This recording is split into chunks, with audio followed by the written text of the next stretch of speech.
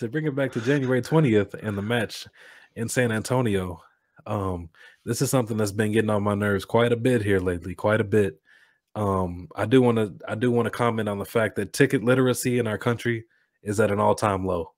It is just at an all-time that that the amount of number one, the amount of people saying, I looked up Copa America tickets, they're five hundred thousand dollars. Tagging US soccer.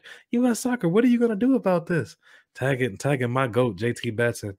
You know what I'm saying? He he's trying to have a nice vacation or whatever, a nice holiday. And it's like, bro, the, the Copa America tickets have not come out. You know what I'm saying? That they, they have not been released, sir. And and U.S. Uh, soccer is not going to have anything to do with them. Yeah. Yeah. If if if your dumbass was gonna press buy on them five hundred, a thousand dollar tickets, good luck getting into to, to Jerry World or whatever the hell you was gonna try and do on that day when the game did come. Because let me tell you what you weren't doing. You you weren't getting in the stadium. Yeah, you were getting scammed, sir. And uh I bring this up for this game because I saw, I mean, we all love Edgar.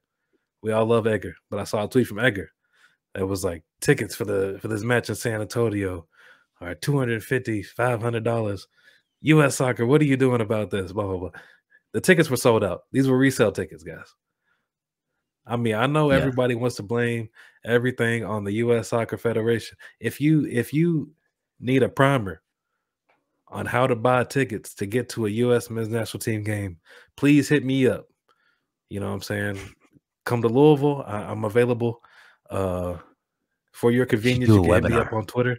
Yeah, you should, do, I'll, you should I'll actually do, do, a webinar. That would be because I've I I will I had budget it once. It was hard. Do it. I, I, will do a webinar. I well well well Walkie, that was that was that Mexico game in Cincinnati. I mean that that was you know. It actually it wasn't hard. Max in Montana just. so I was about to say like like demand you, is Max. is never that high, but but yeah, shout out Max. Um, matter of fact, me and Max might host this together. You know what I'm saying? Like, you can. That it's a great reason to be a member of the Discord. Uh, pre-sale codes come out early and often. They get shared. You can get in there, get your tickets.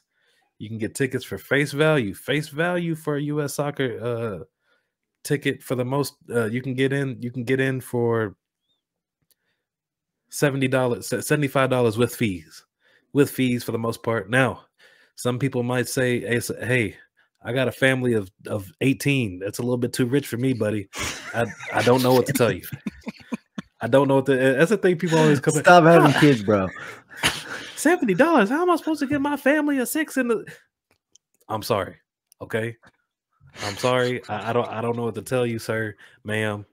Uh maybe leave, you know, the the junior at home. I I'm sorry. Yeah. But you can you can get in for about seventy dollars. You can also join the American Outlaws and, and get tickets with them. The thing about these soccer specific stadiums is there is not a bad ticket in these soccer specific stadiums. You can just get you can get in anywhere. You can set up high, get a tactical view. You can sit in the you can sit in the end zones if you sit high enough in the end zone. You also have your nice little tactical view of the match. Okay, people, I need y'all to understand. And if you see, if you get on a ticket app Ticketmaster and you see verified resale ticket, that means that ticket is not is out of the control of US soccer. That ticket has been bought and this person is selling said ticket for a profit. This webinar could be a banger. Yep. I, it's it, it's it's gotten on my nerves to this point. I've seen at least 15 tweets about Copa America tickets being expensive as hell. And then and then when I saw this one about this damn January camp match, first of all, you ain't even go to the damn January camp match. You just want to complain about this. Everybody want to complain about the roster. And then all of a sudden you want to complain about the tickets too. You know what I'm saying? Pick a struggle. Pick a struggle. That's all I'm saying.